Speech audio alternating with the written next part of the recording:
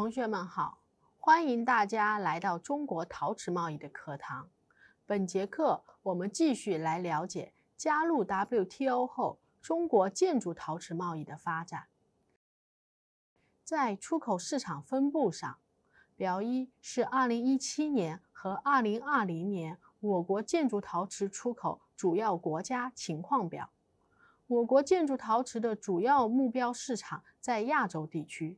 中东地区和东盟自由贸易区也占有很大的市场份额，同时在非洲、南美、大洋洲也存在一定市场。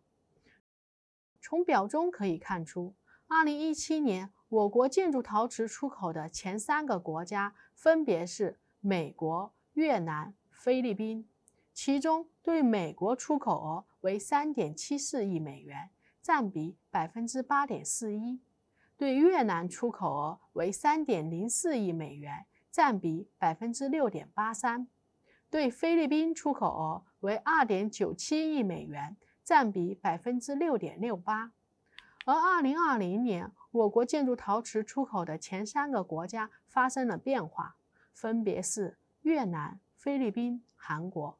其中，对越南出口额为四点八三亿美元，占比百分之十一点七五。出口额和占比与2017年相比都有所增长，跃居第一位。对菲律宾出口额为3.50亿美元，占比8.51%，排名第二。对韩国出口额为2.26亿美元，占比5.5%。虽然出口额和占比与2017年相比都有所减少，但因我国对美出口额的急剧下滑。所以韩国位居第三位。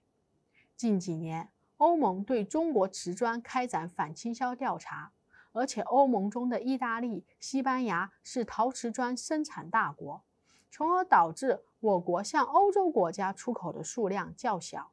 从产品上看，未上釉陶瓷砖更多向东南亚国家出口，美国、韩国等国家更青睐于上釉陶瓷砖。从出口平均价格来看，上釉陶瓷砖要高于未上釉陶瓷砖。出口美国、韩国、新加坡等国家的平均价格要高于其他国家。加入 WTO 以后，我国建筑陶瓷出口经历了较长时间的快速增长，除零九年外，均保持着两位数的增长势头。二零一四年开始出现小幅下滑。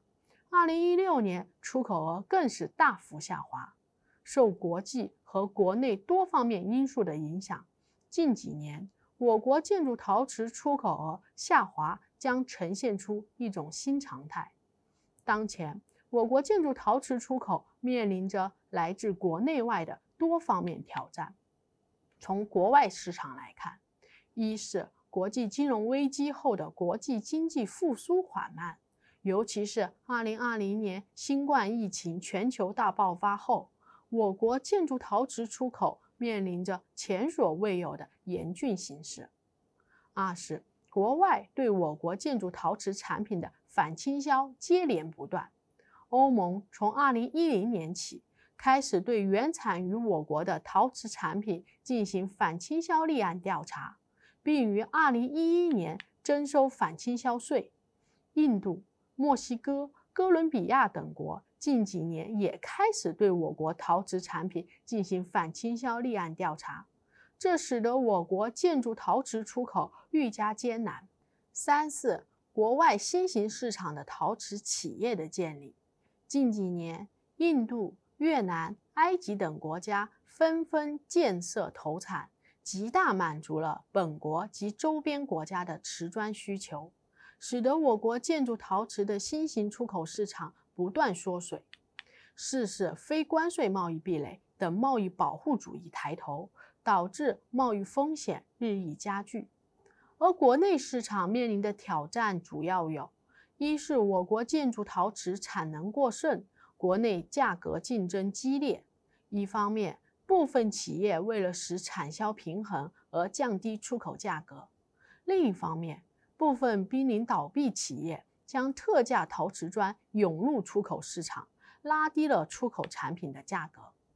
二是具备较强创新能力和技术研发能力的建筑陶瓷企业较少，大部分企业还是以模仿为主，缺乏核心竞争力，产品同质化严重，导致市场竞争激烈。三是受国内节能环保压力影响，部分陶瓷企业无法开工。四是我国的人口红利正在逐渐削减。各种能源和原材料等成本增加。当前，虽然我国建筑陶瓷出口面临着各种挑战，同时自身也存在产能过剩、产业结构不平衡等诸多问题，但也不能忽视我国建筑陶瓷业的其他显著优势，比如产量和出口量居世界首位，劳动力资源丰富。具有诸如广东佛山、山东淄博、江西高安、福建晋江等规模性建筑陶瓷产区，产品价格竞争力强等。因此，在充分发挥自身优势的前提下，努力加强产品设计，提高产品质量，以市场和消费者需求为导向，我国建筑陶瓷出口。又将呈现新的盛景。一要加强品牌建设。我国建筑陶瓷产品相对于意大利、西班牙等国家产品的品牌影响力明显不足，享誉中外的著名或知名产品品牌凤毛麟角。当今世界市场竞争格局最终将归结到品牌之争，我国建筑陶瓷企业必须做好。以市场为导向，以用户为中心，开展科学系统的品牌规划和实施战略，以品牌价值和品质价值占领市场。而对于中国陶瓷砖国际地位和竞争力提升来说，创新是至关重要的。只有创新性产品，才能形成自己不可替代的竞争力，才能立于不败之地。二要转变生产方式，提高产品质量。我国建筑陶瓷企业技术创新能力不强，缺少自主知识产权的技术和产品是普遍存在的问题，从而导致建筑陶瓷产品同质化现象严重。因此，提高我国建筑陶瓷产品的质量，就要加强自主创新能力。企业要通过不断加大研发投入和人才培养。产品推陈出新，逐步提高产品的附加值，向中高端转型升级，才能造就依靠规模优势向依靠技术优势转化的新局面。三要努力开发新型市场，市场开拓是我国建筑陶瓷出口的基础。虽然我国建筑陶瓷出口市场多元化的局面正在形成。但是仍然没有完全摆脱主要市场集中于东亚、美国等少数地区和国家的现状。面对出口市场相对集中带来的问题和弊端，实施市场多元化战略已成为当务之急。因此，建筑陶瓷企业和我国政府相关机构应加强国际建筑陶瓷市场的调研和引导。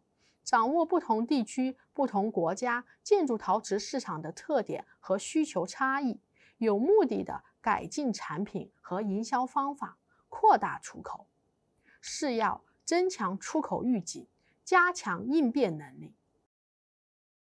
近年来，我国建筑陶瓷产品在欧盟、印度等国家和部分新兴市场不断遭遇技术性或非技术性贸易壁垒。一定程度上影响了我国建筑陶瓷产品的出口。针对这样的问题，一方面应从政府层面加强风险预警的评估和发布，及时发布相关国家和地区的政策法规的最新变化，同时推动我国与世界各国的标准认证的合作互认。另一方面，出口企业也应积极及时掌握。各贸易国。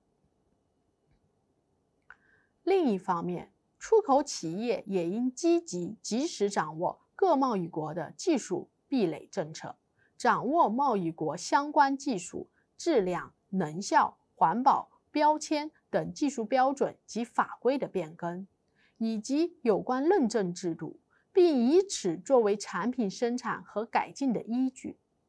同时，建筑陶瓷企业也要在设计、生产、检测等环节严格把关，提高产品质量。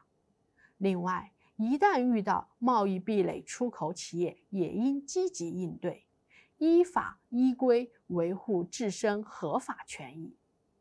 好，今天的课程到此结束，再见。